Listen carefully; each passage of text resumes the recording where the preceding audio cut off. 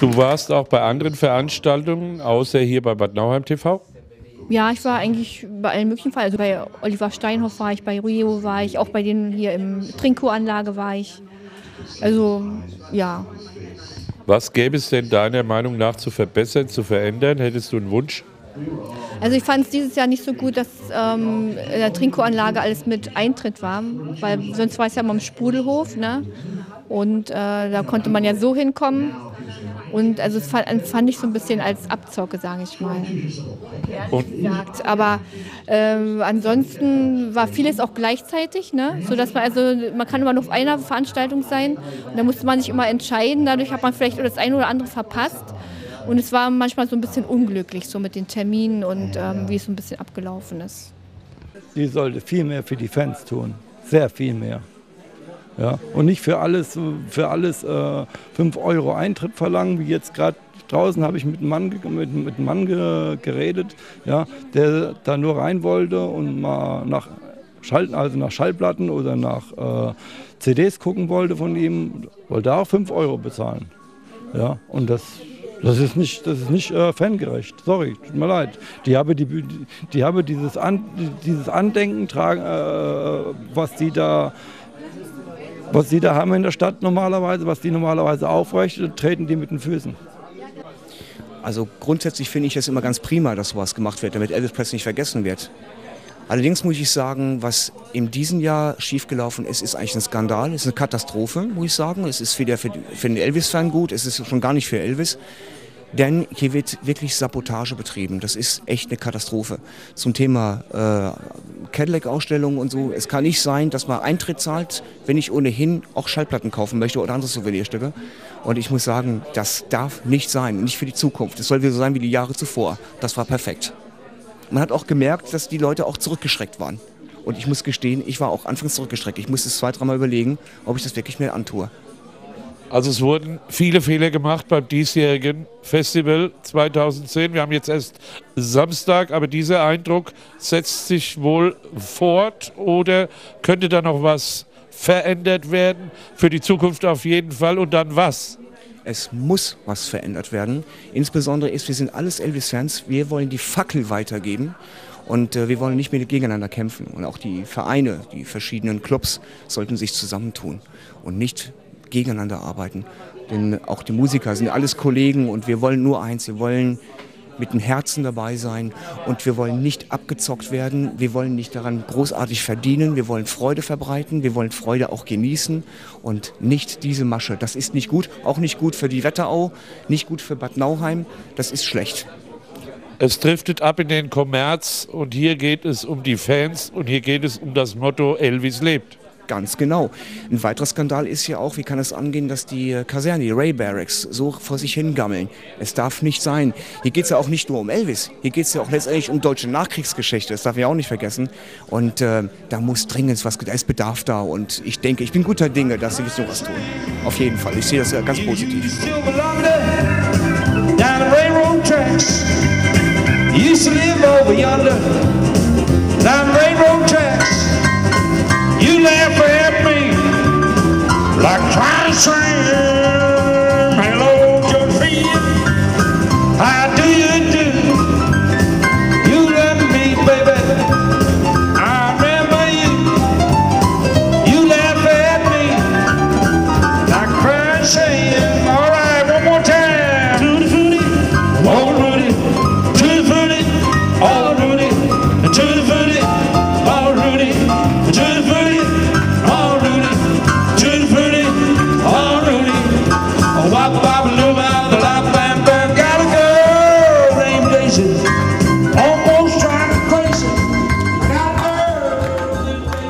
Habe Autogramme bekommen. Äh, wir haben uns unter, ich habe ihm viele Fragen gestellt, welcher sein Lieblingsfilm war. Und er hat gesagt Jailhouse Rock, was leider meins nicht war.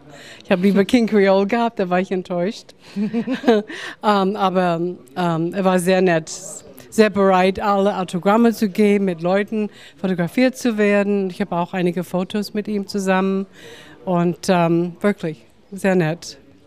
Und heute immer noch ein bisschen verliebt in Elvis? Oh, ja, wahrscheinlich schon. Ich glaube, das bleibt immer ein bisschen.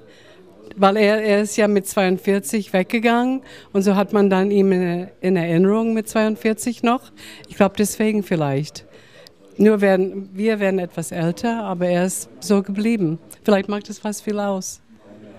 Sie sind zurzeit wohnhaft in der USA oder? Ich wohne in den USA, außerhalb Washington DC und ähm, komme jedes Jahr nach Deutschland. Ich bin hier geboren und auch, äh, aber in Amerika aufgewachsen, habe aber sehr lange hier gelebt dann danach.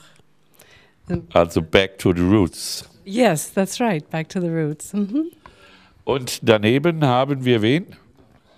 Gisela, heute Cox, früher Werner. Und ähm, wir sind befreundet. Und ich durfte mit dahin fahren. Ihre Eltern haben, mich, haben uns mitgenommen und ich sollte natürlich, weil sie damals nicht Deutsch konnte. No, sie wollten nicht, dass sie alleine dahin fährt. No. Beim ersten Mal durfte ich nicht mit, weil es mein Vater nicht erlaubt hat. Und beim zweiten Mal hat ihre Mutter für mich gelogen. So hatte ich das Glück, ihn auch sehen zu können. Ich habe auch viele Autogramme, habe sogar ein Autogramm von ihm auf einem selbstgemachten, selbstgezeichneten Bild.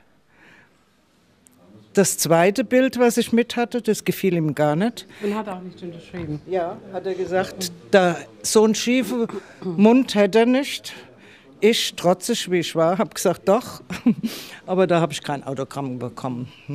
Und es war sehr schön. Und ähm, etwas Bemerkenswertes möchte ich noch sagen. Abends kamen ihre Eltern, haben uns abgeholt. Wir haben wieder vom Haus rumgelungert.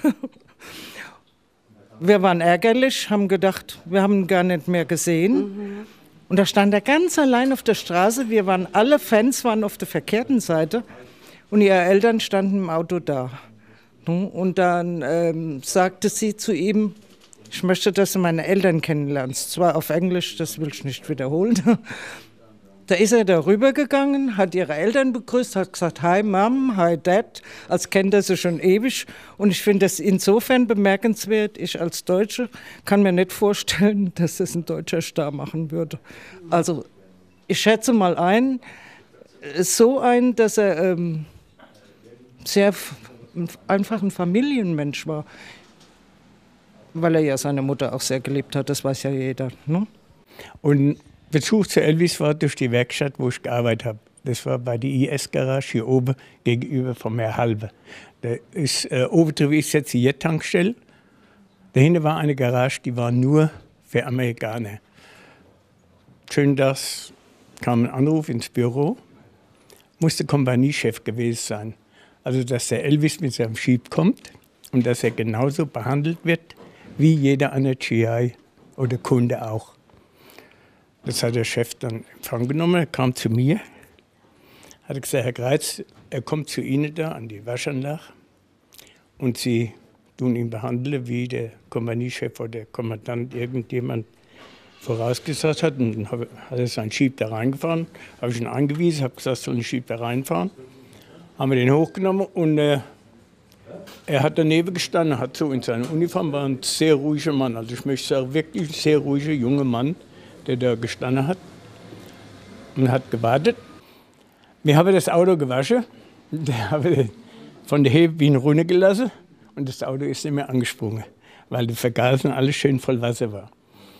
Und da habe ich gesagt, also ich hatte auch einen Jeep gefahren und da habe ich gesagt, Mr. Presley, habe ich gesagt, ich äh, nehme jetzt mal einen Jeep und ich werde sie da anziehen, also vorne dran, wie man das so gemacht hat früher. Und wir sind an der die Eleonorenring runtergefahren. Ich habe gesagt, wenn er merkt, dass das Auto läuft, soll er Hube, so machen wir das und dann hänge ich ihn wieder ab und dann kann er weiterfahren.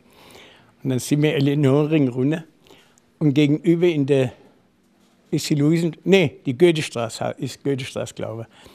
Und da hat ein ganzer Pulk vor seinem Wohnhaus gestanden. Habe ich auch gedacht, wenn die gewusst hätten, dass der Elvis da oben war, dann wären die hochgeströmt. Na, da haben es ein paar Mal probiert, aber es ist nicht angesprungen und dann an Ludwigsbrunne. Dann hat der Schlag gesagt, dann ist er angesprungen und der Elvis hat gehupt hin. Habe ich gehalten, habe nachher hat sich bedankt.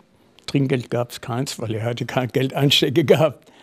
Na ja, das war's. Er hat sich bedankt. Da kam er öfters mal in die Garage und hat, aber wir haben vorsichtig gespritzt, wenn er wieder kam, damit wir nicht nochmal. Ich hätte noch gern wieder angezogen, aber es hat nicht mehr geklappt.